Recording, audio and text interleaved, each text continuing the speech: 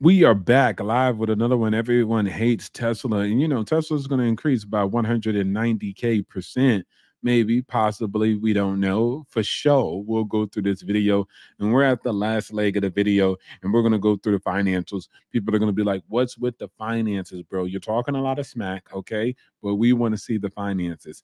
And also, I'm going to remind you that if you check out the catalog, you'll see me go through the factories You'll see us actually explore the construction phase of the factories. You'll see us actually sit down with the project or the factory manager and actually get from him what they're doing, how they're cutting costs and expenses. I mean, come on, an investors day, we sit up there and went through the video and saw the master plan of how they're going to create a new assembly line. So it's like, man, this is the due diligence that you need to do about a particular company in order to say, how do I define the definition between hype and right? And we're digging through the details to get what's right. A lot of people are just going to be like, yo, you're listening to the hype. You're a fanboy. And it's like, nah, you want to talk about the factories? You want to talk about the Megapacks? You want to talk about how they actually changed up this battery technology and increased the efficiency? Do you want to talk about the heat pump? Do you want to talk about the powertrain? Mm-hmm. Do you want to talk about the new assembly line? Do you want to talk about the particular part when we actually send the car off to get sprayed and painted and how we've been able to reduce the cost? You want to talk about the casting machine? You want to talk about the mega calves? You want to talk about the factory over here and over there in Shanghai? You want to talk about the expansion of the mega factory? What do you want to talk about? Because I can walk it like I talk it. So a fan, yeah, you're damn right. I know the details, just like a fan knows how many endings, when somebody was drafted, when they're going to actually be able to hit, what's their best batting hit, what's their best shooting percentage. We know all that. So, what are you going to do? As a hater, you should be able to produce counter arguments of why there's another competitor that's better at this. Because when you can't, that's when you're looking vastly stupid, my man. Let's get down to the financials. Financial comparison Tesla, Apple, and Amazon. Winston insisted on coming along. He's got a nose for sniffing out good numbers. But first stop, market cap. Tesla's current market cap sits at a cool 640 billion. Now let's wind back the clock to 2007 for Apple. Just as they were launching the iPhone, adjusted for inflation, Apple's market cap then would be about 220 billion in today's money. So before they launched the iPhone, 220 billion right? So you're like, wow, that's before a big event. Okay. And then, of course, Tesla's 600. So that's more, right? And they've launched a couple of products. Okay. Let's see. Amazon, we're traveling back to 2006 when they launched AWS. Their inflation adjusted market cap, a mere 23 billion. So 23 billion only for Amazon when they launched launched AWS. That's ridiculous. So Tesla's already valued significantly higher than Apple or Amazon. Where see, so Tesla's already valued significantly higher. But let's see. It's a similarly transformative stage. So is this the end of the story? Was it all a complete waste of time? Not quite. Let's talk revenue. Tesla brought in a whopping 96 billion last year. Now let's compare that to our time traveling friends. Apple's revenue in 2007, again, always in plus adjusted for inflation, would be 36 billion. 36 billion to our 96 billion. This is revenue. So Apple was at 220, only at 36 when we're at 96. Amazon, 17 billion. 17 billion for Amazon before AWS, but they had a fairly low market cap. So, okay. Tesla is not just playing in the big leagues, they're rewriting the rulebook. But remember, past performance doesn't, of course, guarantee future results. But Tesla's present revenue is a significant multiple of what Apple and Amazon were at their kind of trans- transformative. transformative yeah, so their transformative moments, our revenue is much higher, triple what theirs were at their transformative moments. So if I was to say the same thing, let's go back in time. And if I was to say the same thing about Amazon, you could say I'm crazy. Look at their revenue. Like, man, what? Amazon, they're only like 20 billion. Well, you you're going crazy right now. You're talking stupid. I say it about Apple. You could have said the same thing. Like, what you're stupid. Do you see their revenue? They're only like 30, 36 billion right now. But here goes Tesla touching a hundred billion, and I still must be an idiot, right? Prior to the transformative phase, I don't think the car was the transformative phase. Phase, excuse me. Just like you know, the books were transformative to an extent, and just like the actual computers were at Apple for an extent. But once we came out with the iPhone and then the services, or once we came out with retail across the board or the actual AWS, it was game over. And that's what I'm saying the next phase of Tesla is. EVs, cool. Energy, Optimus robot, and then you could sprinkle in full self driving. Sprinkle that in as a bonus. So let's look at the stock performance since IPO. Tesla stock has grown by about 16,000% since its 2010 IPO. Impressive, right? Well, Apple stock has grown by about 190,000%. See? So Apple's grown a lot more since 1980. Since its 1980 IPO. And Amazon has skyrocketed by 192,000% since its 1997 IPO. So, what does this mean for Tesla's future potential? Well, let's try to be a bit more speculative here.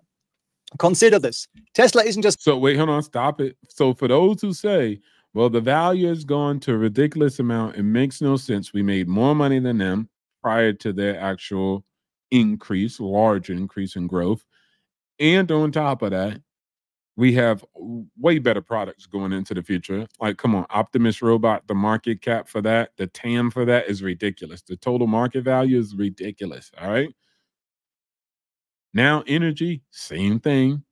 And especially, it's about time for that to be revolutionized and revised. There's new inventions that need to be had in the energy department. But this is funny too. People who hate on Tesla know nothing about our energy grid. Like they don't even understand how they get energy to their own house, let alone how essential these battery packs will be, these Megapacks. But that's neither here nor there.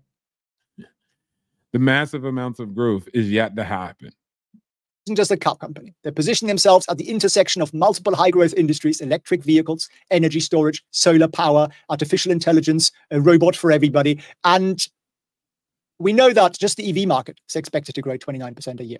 We know the energy storage market is expected to reach. Mommy, where are we going to sit? And let me say this. Rental car? Let me say this at the end of the day. When you're actually looking at things like Tesla, let's go ahead and give them EVs only now and energy. Energy generated a good amount, around 30% of our profit. Now, it was around almost 10% of our revenue, but almost about 30% of our profit because the margins are higher on the energy department, especially for storage. And imagine once we ramp, this is things while everything is still ramping and being scaled up, that things are going to be a little bit more expensive. So in the future, when we end up ramping, is going to get ridiculous.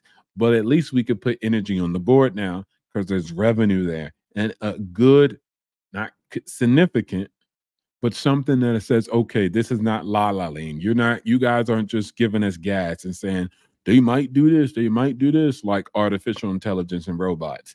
They have yet to generate revenue to the extent that the energy department did. So let's let's talk Turkey and talking turkey means let's talk numbers. Five. And the AI market, 1.8 trillion by 2030. So Tesla's approach puts them in a unique position to capitalize on all of these growing markets. So Tesla's current revenue of 96 billion could be just a fraction, and definitely is just a fraction of their addressable market. The global automotive market alone is worth trillions. If Tesla can just capture a significant share of the car market and expand into energy and autonomous services, let alone robots, their revenue could still grow many, many times over. Of course, no growth is guaranteed. They're going to face challenges, competition, scaling, development issues, all kind of stuff. But if Tesla can execute on this vision, the potential upside is enormous. And if you compare it to the Amazon and Apple moves, another 10x doesn't seem that far fetched. So while Tesla's current valuation might seem high compared to its current revenues, when we consider the size of the markets they're addressing and their potential for disruption, we might just be in the early chapters of a much, much longer growth story. So is Tesla still early in its trajectory? The answer isn't, of course, black and white. I'd love to hear your thoughts. Put it down below in the, in the comments. Is it early or is it late? Well, the company's current valuation does price in some significant future growth.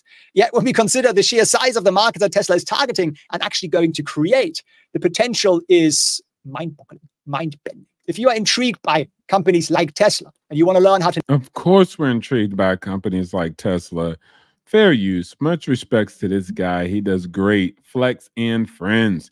He does great analysis across the board. But once I saw that, guys, I was like, I'm gonna have to produce it. I'm gonna have to show up and sh- show up and show out to show you guys what we're doing. And he even talk about the robots. The robots in the addressable market for Optimus is ridiculous. 30 trillion for the labor market. Now, of course, let's just say it's 5 trillion, right? And let's say that Tesla only gets about 10% of that 5 trillion. That's a gross, gross, gross underestimation. That's a ridiculous underestimation. But let's just go with it because let me be conservative. But when it comes down to that Optimus robot, you guys really don't think Elon can pull it off? You don't think he can make it happen? Now, I wish I, wish I would have brought up the video where this robot was actually in the factory. We already have the factories. So when he throws the robot in the factories, we already got the factories. Like, right? It's not like other companies who got to create these robots and they don't have a factory, plus they don't know how to scale. So even if they actually figure it out, they still don't know how to scale. We do. Hmm. Think about that. But I guess we're going to sleep on a guy that makes things happen like this. We're not going to believe he can do it. Right? Y'all really don't believe this guy can do it? Let me let me also give you another visual real quick before we head out. Sleeping on this guy is crazy. Guys, I'll see you in the next one. All right? Like, share, subscribe, support the channel and hit that notification bell. And then also watch this rocket land. Rocket Man, Elon Musk. Stage one, landing leg deployed.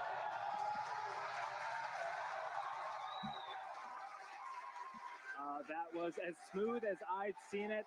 Uh, we had phenomenal shots all the way through the landing burn. You heard the sonic booms. This cold night So the so from all the way up here, gas, which helps with attitude control. and then the booster back. Stage one, landing leg deployed.